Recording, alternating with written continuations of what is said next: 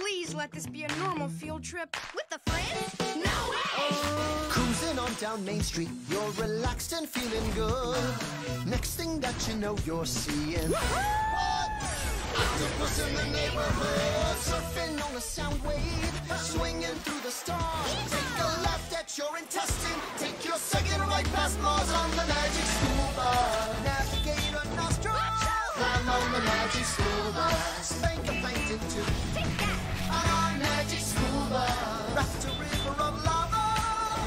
Magic school bus, such a fine thing to do. So strap your bones right to the seat. Come on in and don't be shy. Just to make your day complete, you might get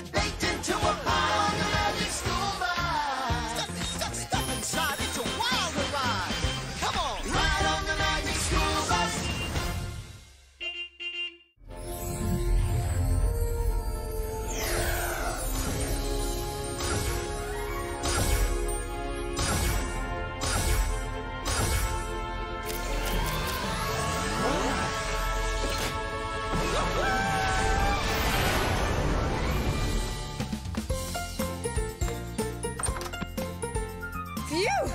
Thank goodness. I was afraid of what I might find when I got here. Something could have changed over the summer. Nope, nothing different. Except Jyoti, of course.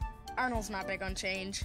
But everything's exactly like it was when we left last year. Come on, Jyoti. Welcome to your first day. I'll show you around. Exciting! But from what you guys said, I thought everything would be more magical. Oh, don't worry. It will be. But first, the normal stuff. Like how everybody sits in the same place every class, and how we all have jobs. It's a delicate balance. Wanda and DA handle the brain builders, and Ralphie annoys the skeleton. Yeah, but he never gets rattled.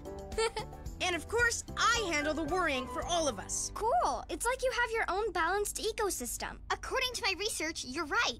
An ecosystem is. Yep, a community of plants and animals, all with a role to play. How'd you know that? An old pizza box I left under my bed. My mom called it the world's smelliest biome. Ugh. So what about me? Where do I fit in? Dunno yet, but I bet we'll find out before the day's over. Here, you can have Phoebe's old seat. She went back to her old school.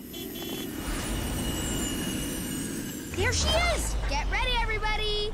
That's awesome. Told ya. Now, get ready for the Frizz and her mug in 14.2 seconds. Miss Frizzle always gets here at exactly the same time and puts her mug That we made for her. in the exact same spot on her desk.